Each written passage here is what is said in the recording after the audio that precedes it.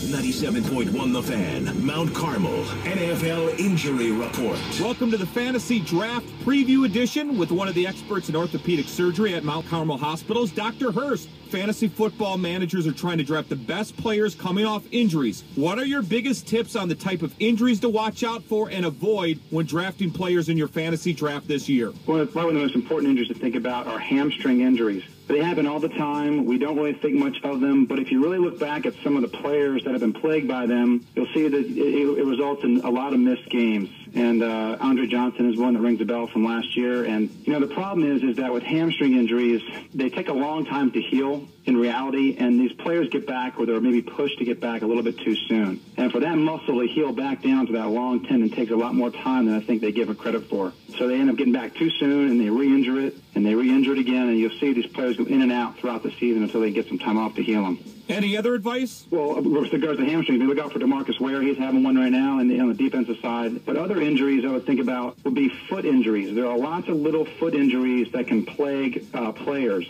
Uh, in particular, we've all heard about turf toe injuries, which is an injury to the undersurface of the big toe. That took out Deion Sanders. Jahvid Best is having some problems with that right now. Another injury to the foot is called the fifth metatarsal fracture. That occurs on the outside of the foot. The problem with that fracture is that there isn't a very good blood supply to that bone, so it can take a long time to heal. Case in point is Hakeem Nicks. He had injury of that fifth metatarsal, had to have it fixed, and he's just going to get back for the probably the first game, I would think. And then Matt Schaub had that Liz Lisfranc, which is one of those really devastating foot injuries to the mid portion of the foot. Like you saw, that one little injury to the foot took him out all year. And I get worried about players playing at the same level with mobility when you have foot injuries. What players should you avoid in this draft? The one that stands out in my brain is Austin Collie. Thanks, Dr. Hurst. We can't wait to catch up with you guys.